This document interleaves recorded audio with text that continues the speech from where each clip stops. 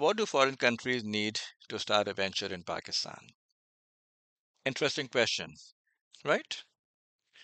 For a country to uh, open themselves up to a large, to a for foreign entity to to want to come and open uh, up a venture in the on the shores, a lot of things have to be done right. Otherwise, the level of confidence would simply not be there for them to, want to undertake this journey, and with, with all the risks that sort of that go along with it, for them to want to do this. So let's go ahead and figure out and study what are some of the factors that Pakistan could do to enable the foreign companies to feel comfortable in starting a venture in Pakistan. Let's see what the factors are.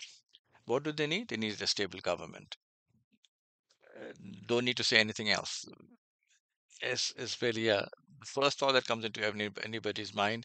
Do they have a stable environment? Do I feel safe? So again, stable government. Stable government is not just a factor of who's ruling the country and which right or left, which political party is, is leading at that precise moment in time. Stability simply means that my long-term interests are they safe or not? Or, or are they subject to whoever, whoever is in the party and the next person or the next entity that comes on board they may come come back and revamp reset all the agreements i've had with this with this, with this government. We we do not want to have an unstable environment like that. So very top of the list is what if the question that we're trying to address is what can pakistan do to enable foreign companies to want to come and start a venture in Pakistan, for them to feel comfortable in starting a venture in Pakistan, the top of the list has got to be stable government. And then no hindrance due to bureaucracy.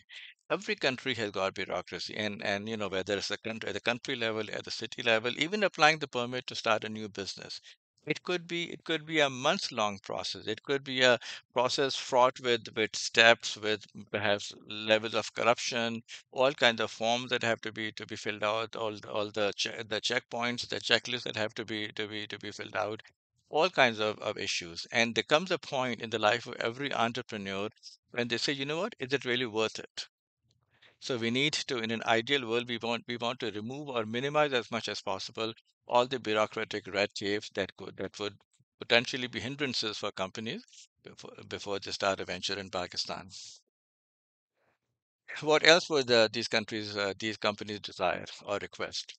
No problems with law and order.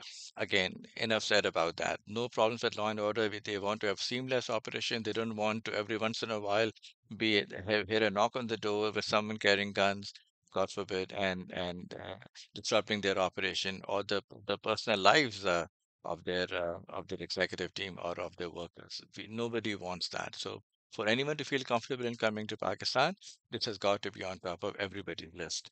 No problem with law and order.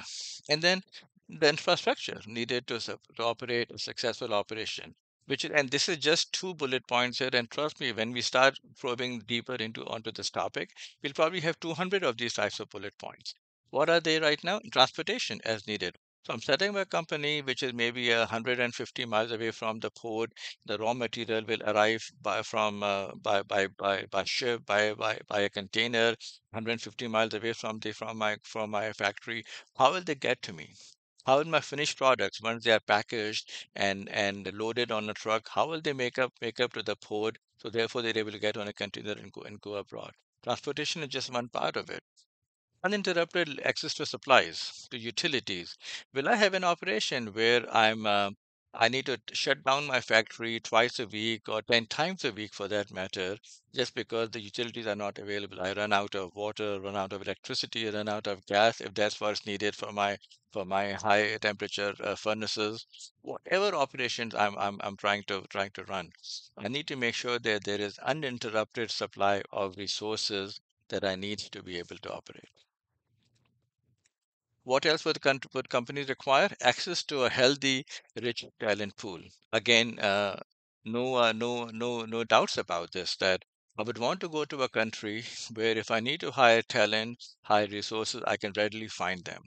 I don't want to be in a country where everyone who's working in the country is coming from a different place, which means not just sourcing becomes a challenge, becomes a problem, the training becomes a problem the logistics for those people for me to fly them out from somewhere else and put them to that country that becomes a challenge so pakistan could really really benefit by developing the skills that these countries that these companies would require, make them readily available. So therefore, they'll fe- feel the confidence that if they are to come to Pakistan, assuming all the other bullet points are provided and they are checked off, they'll have access to a healthy pool of of talented people who can come and hit the ground running and help them run the whole organization at all levels of management. Access to a directory of reliable and certified supporting service providers. Think of it this way that every company in all of their operation, they have so many touch points with, with external agencies that they cannot under one umbrella, under one roof, bring everything in-house. They need to deal with with other vendors. You may have to deal with shipping vendors, for example, or maybe you have outsourced the whole warehouse management. You're dealing with a different company that the company which does that. Even packaging itself, even labeling itself could be provided by a different company. Maybe support could be provided by a different company. So, so every company should, in an ideal world, and we've got separate presentations on this topic as well every company is is well um, uh, um, as, as suggested. A strong recommendation is for a company to focus on the core competence and let other comp- ancillary uh, service providers to come in and and and figure out uh, all the ancillary uh, services that the companies would require. So again, if you've got a, a, a, a directory of reliable, certified companies that as a business owner I can reach out to and they'll help me take care of the things as if they are I'm doing it under the same roof it's a huge, huge benefit that any company would enjoy. So again, if Pakistan was to become that haven for foreign companies to come and venture in the country, this is something that we must be able to provide provide to them. Ability to purchase raw material locally or from abroad. If I'm manufacturing um, pharmaceutical products in Pakistan, all the raw material, which means all the the the the, the packaging or the vials or the uh, the chemicals themselves, they must come from somewhere. Either I must have a place locally sourced, which is available, readily available, based on demand, just in time availability of the uh, of the raw material that I would need within my factory to be able to complete my, my my manufacturing. It must be available. Or if it needs to come from abroad, fine, that could be a possibility as well but those avenues, those channels must be well oiled, well defined, available, readily available, without any obstruction, without any blockages. They must always be, uh, be at my disposal. I should never, ever be at the mercy of the elements of the the global uh, geopolitical situations which could potentially hamper my operation. Nobody would feel confident in that kind of a scenario. So, ve- very critical bullet point for all the raw material that I would need to be able to succeed as as a company in a different country, I would want all the raw material to be available and readily, whether they come locally or they come from abroad. Let's keep going. Ability for the for the countries to be able to export their goods abroad without any restrictions. Again, if I'm let's say I'm setting up a shop in Pakistan and I'm manufacturing a certain widget, and the widget is obviously it could be sold to the local market as well, but a large predominantly is being exported to a different country. So I need export channels, avenues to be available, readily available without any impact. Again, straightforward enough, right? That we all understand what it is that countries would require. Again, this is a, this is a critical item. We do, we do not want to be in a situation where we are producing the goods and they're just stockpiling within our warehouse and, and, and the export avenues have been shut down. Even if it's, it's a temporary outage, we do not want that. These companies would also require a vibrant local economy, a vibrant group of local consumers who are willing to uh, to, to use the products, use the goods or services which which are being produced under under my under my uh, under my roof. Again, the point that we just made earlier, every good that is being produced in a country is ideal if the good is consumed locally as well, because obviously freight is expensive. And for us to maybe ship everything abroad, that will obviously have to come at a, at a, at a price. And if the price is right, then maybe it might make sense at some level. But if it's being absorbed locally, then it's, it's really the best avenue. If you're developing something, uh, a, a gadget, for example, that is, uh, you've got a strong local market that's all the more of a reason why somebody would want to come and do the manufacturing in that area as well, just so we could absorb, we could tap into the local uh, consumer market as well. And then once, of course, every, all, everything is done and everything is done well, that as my company in Pakistan would hopefully be profitable, right? That's the only reason why I would want to do this. If it's profitable or when it's profitable, I would want to have the option to be able to take the profits abroad without being subjected to any uh, any limitations, any any any factor that could be a geopolitical related, it could be economy related in general, will impede my ability to be able to take my profits abroad and pay dividends to my stakeholders. And then uh, the visas for the executives and their other employees of the companies to frequently visit Pakistan. Clearly, enough said, right? That if I'm running a factory in Pakistan, I would want my executives to be able to go and visit them as often as possible. Maybe live in Pakistan if that's what it takes. And when they go back and forth, for them to be able to take along their families as well. In a different uh, presentation, we talked about the reasons why somebody would have to want to visit Pakistan, and we said tourism could, was was on top of that list.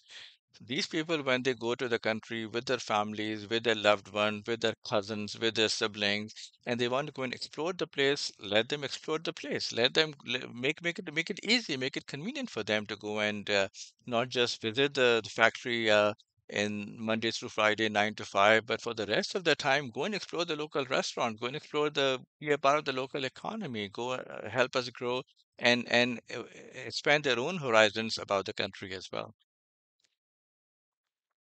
And then uh, another factor that's important for these com- company, uh, uh, companies is uh, a positive quality of life for the families when they accompany the key worker. And then finally, arbitration and other support in case of any conflicts or disagreements. Well, Everything we've talked about so far is sort of underlying the best case scenarios where everything is going according to the plan. You set up the shop over there, you've got the manufacturing, you've got the raw material uh, available, you've got the right talent uh, acc- accessible to you.